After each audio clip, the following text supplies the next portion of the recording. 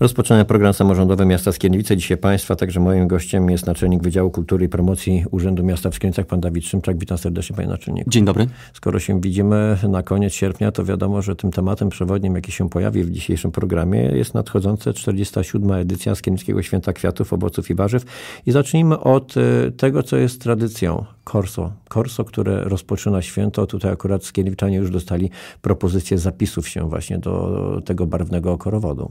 Tak, parada jest jednym z tych elementów, które cieszą się szczególnym zainteresowaniem mieszkańców, instytucji, organizacji, stowarzyszeń, fundacji, zaprzyjaźnionych podmiotów, e, chcących wziąć e, udział w tym widowiskowym rozpoczęciu. Tradycyjnie oczywiście parada rozpocznie Święto Kwiatów, lecz e, trochę wbrew tradycji pójdzie inną trasą. Jest to oczywiście związane ze zmianą lokalizacji no, serca samego święta, które w tym roku znajdować się będzie na mm, nowym stadionie miejskim przy ulicy Pomologicznej. Sama zaś parada startować będzie z, ze, ze zbiegu tak naprawdę ulic Senatorskiej i Prymasowskiej, a następnie iść w stronę tego stadionu ulicami Konstytucji 3 Maja, e, Rybickiego, e, ze skrzyżowaniem z Rejmonta w Pomologiczną i oczywiście do stadionu. Jest zatem pewna zmiana, do której może mieszkańcy się nie przyzwyczaili, ale ta trasa jest na tyle podobna, tyle że odwrócona w stosunku do lat e, ubiegłych, że mam nadzieję nie zrobi to wielkiej różnicy. Tutaj możemy mówić, że nie tylko i wyłącznie placówki oświatowe, także instytucje działające pod egidą miasta Skierniewice, ale także różnego rodzaju organizacje pozarządowe, które już tradycyjnie wiedzą, że ten akurat weekend, ten specjalny weekend dla e, podejrzewam całej centralnej Polski, e, to jest moment, kiedy można się pokazać, można powiedzieć wprost, jestem stąd, jestem ze Skierniewic. Oczywiście, panie redaktorze, trzeba bowiem zauważyć, że w paradzie biorą udział nie tylko te miejskie podmioty, nie tylko miejskie organizacje. Mamy coraz większe zainteresowanie także organizacji z zewnątrz, które chcą wziąć udział w paradzie, w Święcie Kwiatów, w ten sposób podkreślając niejako e, swoją chęć współtworzenia tej e, wielkiej formuły, a dla nas jest to korzyść oczywiście E, taka, że zwiększa różnorodność parady, która no znów rozrasta się przecież e, od lat. Tutaj e, mówiąc na temat tego, że troszeczkę zmienia się serce święta, czyli w tym momencie jest to stadion miejski przy Pomologicznej, też skraca się kręgosłup święta, ponieważ w tym momencie ten kręgosłup zaczyna się od Centrum Kultury i Sztuki, a kończy się na stadionie miejskim i hali, tej nowej hali OSIR, która funkcjonuje. Wcześniej był jeszcze ten rynek miejski, który w mhm. tym momencie będzie idealnym miejscem na to, żeby po świątecznych e, atrakcjach wypocząć. Także tutaj też chyba dużo jako organizatorów czekała Was praca, jeżeli chodzi o logistykę, o rozłożenie tego wszystkiego, przygotowanie różnego rodzaju stoisk handlowych, ponieważ wiadomo, że w tym momencie to już jest zupełnie inna praca niż poprzednie te kilkadziesiąt innych edycji święta. No z całą pewnością y, stanęliśmy przed koniecznością reorganizacji całej strefy handlowej, a zatem tego wszystkiego, co stanowi o tych no, tak zwanych twardych e, aspektach e, święta. Ja lubię mówić, e, że święto, choć tak naprawdę to serce bije w nas wszystkich serce święta, to jednak od tej strony organizacyjnej zaszły rzeczywiście zmiany, które wymagały no, zwrócenia uwagi na pewne istotne kwestie, chociażby z punktu widzenia bezpieczeństwa, bo przecież nie chodzi tylko o rozkład strefy handlowej, ale także o udostępnienie miejsca do no, przeżywania tych wspaniałych chwil, choćby w czasie koncertów, a następnie bezpiecznego wyprowadzenia wszystkich uczestników e, imprezy e, odpowiednimi e, drogami. No, nie jest to łatwe, ale prowadzimy to jakby w konsultacji ze służbami odpowiedzialnymi też za bezpieczeństwo, w związku z czym no, Święto Kwiatów współtworzone jest przez podmioty odpowiadające za bardzo zróżnicowane kwestie, które finalnie składają się oczywiście na tę e, wspaniałą miejską imprezę.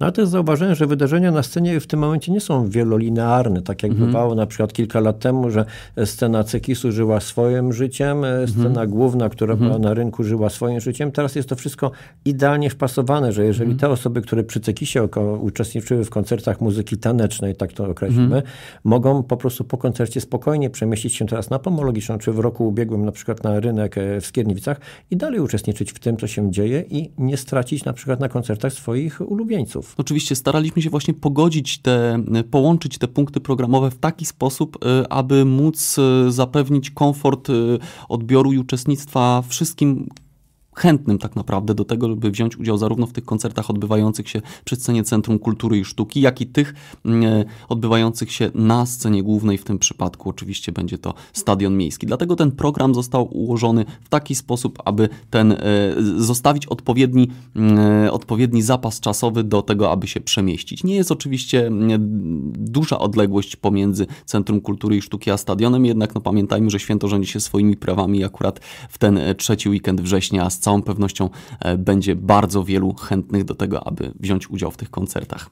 Ja od razu podpowiem, jako osoba, która w świętach uczestniczy praktycznie co roku, jeżeli ktoś z cekistów chce szybko przejść na ulicę Pomologiczną, korzystajcie z Kaczorowskiego, dawnego Żwirki, tam nie ma stoisk handlowych i spokojnie można szybko się przemieścić w kierunku ulicy Pomologicznej. Czy już wiadomo, kto wystąpi? Oczywiście, że tak. Możemy coś za... powiedzieć, czy będziemy tak, tak dawkować, jeżeli chodzi o na przykład właśnie ten line-up, który e, zagości? E Najważniejsze jest to, że mamy trzy dni święta. Na każdy z tych dni przewidzieliśmy no, zestaw e, artystów, którzy, zestaw artystów, listę artystów, listę wys, e, występujących, którzy z powodzeniem zapełniają dzisiaj największe festiwale. Oczywiście piątek zostawiamy młodzieżowy, sobota i niedziela tradycyjnie, e, tradycyjnie no, dobór takich artystów, którzy mogli, którzy, którzy no, stylistycznie e, pokrywają się z tym, co najbardziej popularne w dzisiejszej e, muzyce. Sobota i niedziela z całą pewnością możemy zdradzić już, e, kto będzie. Wystąpią na scenie e, głównej tacy artyści jak chociażby Wilki, e, Kombi, Smolik i Kevin Fox czy Dawid Kwiatkowski. Niedziela Brodka, Artur Rojek, Kacperczyki oraz Margaret. Z samego tego zestawienia widać wybiórczo chociażby, że znajdują się tam artyści, którzy dzisiaj na tych największych festiwalach świecą największe, święcą największe no, koncerty, przychodzą całe tłumy na występy tych artystów, których my będziemy mogli obejrzeć i wysłuchać w Skierniewicach za darmo. Piątek, tu jeszcze pewna niespodzianka.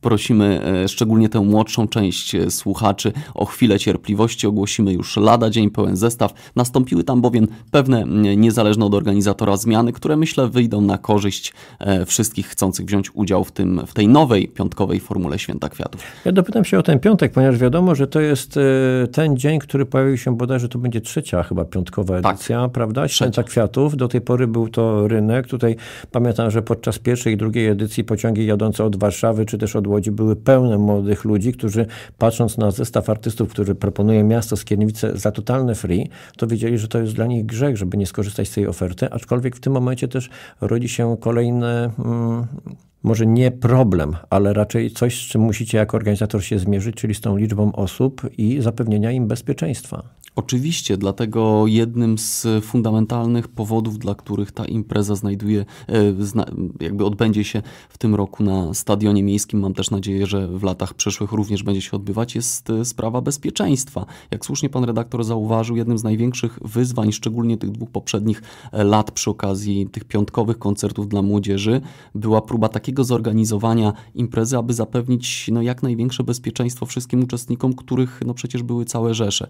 Chcemy zminimalizować ryzyko jakichkolwiek niepokojących sytuacji, dlatego wspólnie ze służbami, z policją, z ochroną, e, z jednostkami ratowniczymi, tak ten, ten, ten, tę imprezę no, zorganizować, tak przystosować też ten teren, aby w sposób jak najbardziej komfortowy i przede wszystkim bezpieczny móc zapewnić e, udział darmowy, jak słusznie pan redaktor zamówił, dla, y, zapowiedział dla wszystkich chcących y, w tym, w, tym, w, tym, w tym 13 września y, pojawić się w Skierniewicach. Ja nie bez powodu powiedziałem o tym, że jest to darmowe, ponieważ w przestrzeni medialnej pojawiały się pytania dotyczące ile będzie kosztować wstęp na przykład na sobotę, czy na piątek, czy na niedzielę, więc w tym momencie możemy powiedzieć, nie kosztuje, po prostu wchodzicie tak jak w ratach ubiegłych. Tak, to też jest pewien wyjątek, myślę nie tylko w, w naszym regionie, w skali całego kraju, że tak duża festiwalowa impreza jest dla uczestników za darmo. E, gdyby spróbować na rynku komercyjnym zorganizować koncerty w takim formacie, jakim organizuje to miasto Skierniewice od lat i w tym e, roku, za taki karnet pewnie trzeba byłoby zapłacić około kilkuset złotych. No, dzisiaj e, te koncerty spotykają się z bardzo dużym zainteresowaniem, bo zmienił się w ogóle rynek odbiorców, zmienił się rynek wydawniczy. Nie jest to święto sprzed 20-30 lat, kiedy tych koncertów było przede wszystkim mniej, a kiedy dużo mniej z nas, szczególnie jeśli chodzi o tę młodszą część odbiorców, mogło sobie po prostu pozwolić na uczestnictwo w komercyjnej e, imprezie. Dzisiaj już totalnie się to wszystko zmieniło. Młodzi ludzie jeżdżą na festiwale na drugi koniec Polski są gotowi zapłacić za to naprawdę duże pieniądze, aby zobaczyć na żywo występ ulubionego wokalisty, występ swojego idola.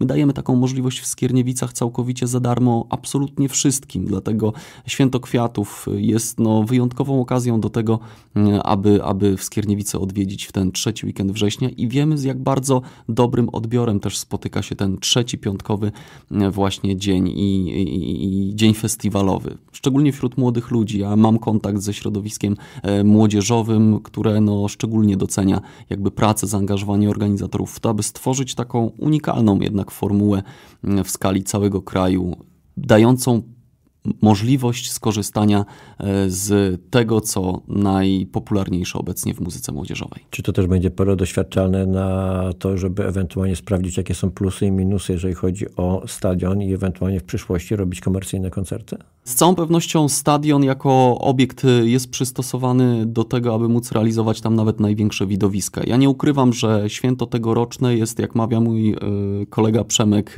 Rybicki, e, rozpoznaniem w boju, bo po raz pierwszy organizujemy organizujemy imprezę w takim formacie, w tym właśnie miejscu. Jeśli chodzi o rynek, no byliśmy wszyscy przyzwyczajeni do tego, że no tam, tam, tam było relatywnie niedużo znaków zapytania. Wiedzieliśmy, czego możemy się spodziewać. Oczywiście na element chaosu zawsze byliśmy gotowi.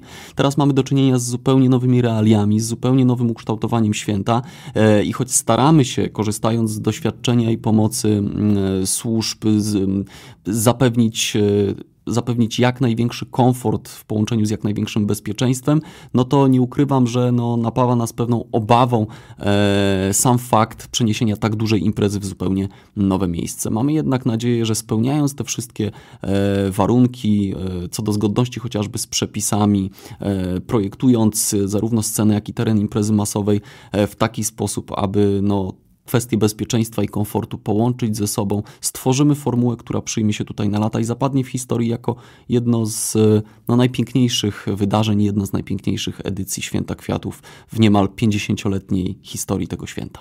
Czyli widzę, że w przeciwieństwie, tak samo jak i ja, również i Rzecznik Rybicki używa nomenklatury wojskowej, poligon e, i tak dalej, i tak dalej.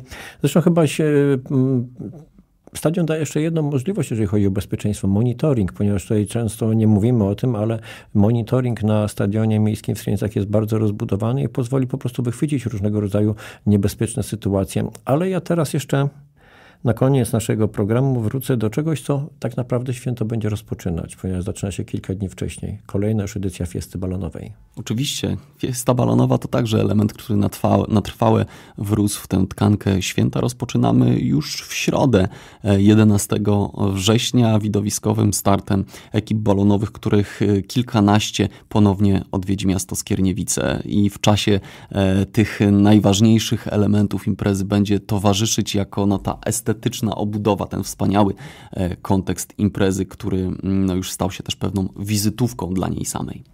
Jutro będzie równe trzy tygodnie od momentu, kiedy fiesta balonowa zawita do Skiernic po raz szósty bodajże, tak, tak mi się wydaje. Natomiast wiadomo, że święto po raz 47 to początek, aczkolwiek nie koniec rozmów na temat e, święta kwiatów, owoców i warzyw, ponieważ tradycyjnie Radio RSC jest patronem medialnym i u nas wszystkie informacje rzetelne, prawdziwe i sprawdzone usłyszycie. Dawid Szymczak, naczelnik Wydziału Kultury i Promocji Urzędu Miasta w Skierniewicach był Państwa, także moim gościem w programie samorządowym Miasta Skierniewice. Dziękuję bardzo. Serdecznie dziękuję.